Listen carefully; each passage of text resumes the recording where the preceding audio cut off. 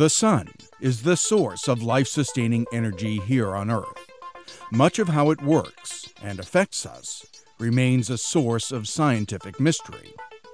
Sunspots were first recorded by humans in the 1600s.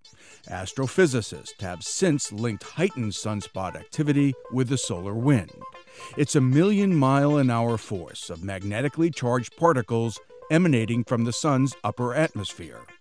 Ebbing and flowing in minimum and maximum intensities over 11 year cycles, this so called space weather can seriously affect how things work here on Earth, such as disrupting satellite communications, telephone service, and personal electronics. It would help uh, our technology uh, to safeguard the technology by knowing when and in what intensity space weather occurs and where these effects might show up.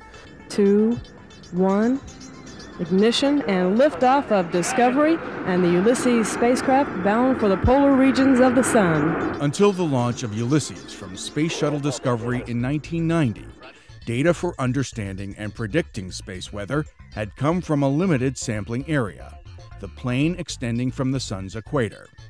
Ulysses has since made three orbits above and below the poles of the Sun vastly expanding the territory from where raw space weather data are gathered. So Ulysses was really the first spacecraft that leaped out of this confinement and uh, gives us a view of the global heliosphere. Ulysses has found that the solar minimum we're in right now is producing the lowest levels of solar wind seen since accurate readings became available a half century ago.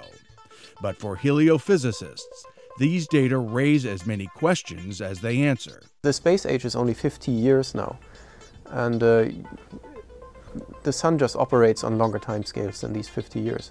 So we might have glimpsed just the surface of what is really going on. By expanding its reach, both in time and space, Ulysses is helping the discipline of space weather prediction grow beyond its infancy for the betterment of life here on Earth.